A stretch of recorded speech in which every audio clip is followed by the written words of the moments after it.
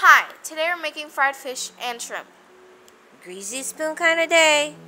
First, we're going to start off by patting down the shrimp with a paper towel. This will prevent from spilling the liquid to the counter. These shrimp were already cleaned and deveined, so it wasn't really much to do except peel the shell. Be sure to leave the tail on. That will help you easy to handle. Also, when you peel the shell off, make sure that the store actually did take the vein out, the deveined it. Just recheck them. Yeah, just in case. Um, then we're going to repeat the process and now we're going to butterfly the shrimp. We're going to take the knife, cut it through. Don't cut it through all the way because you just, you don't want to hold on the other side. You just want to make it flat so it's easy to coat and batter. At first, we are going to season them with some salt. After we sprinkle some salt, we're going to do some pepper and flip them and redo it so that they are evenly seasoned.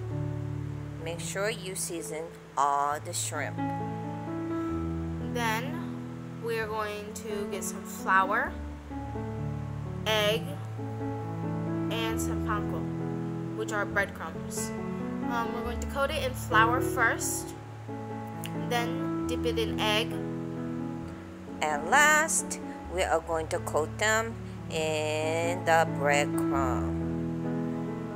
Then after coating them in breadcrumbs, we're going to put it on a dish and let them dry while we work on the others.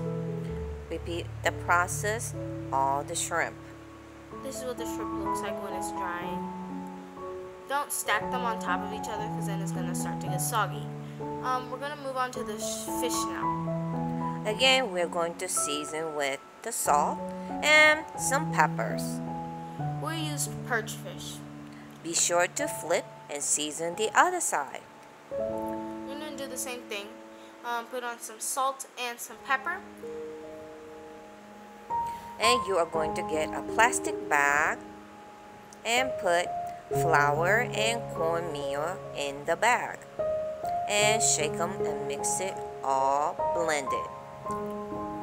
We didn't use a lot because it's only a little, like a few pieces of fish. Use enough to coat them all. Using a plastic bag will help you reduce the cleaning up time.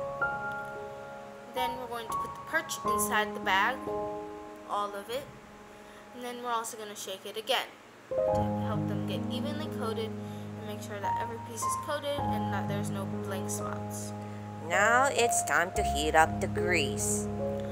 We're going to make sure that the grease is ready. We're going to put in a piece of a little breadcrumb to make sure that it's ready. It doesn't seem quite ready yet, so we're going to put in another one soon to wait to check if it's ready.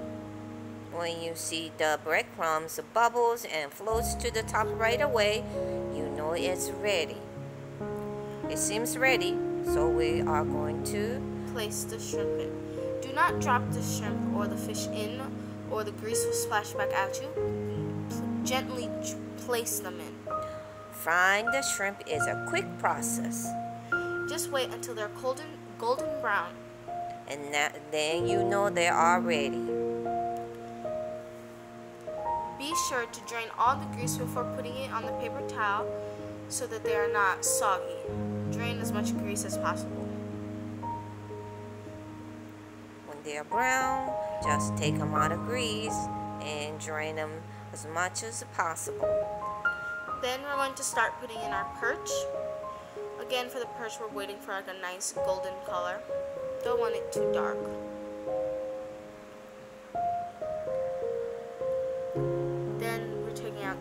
Fish because it looks like a golden color to us.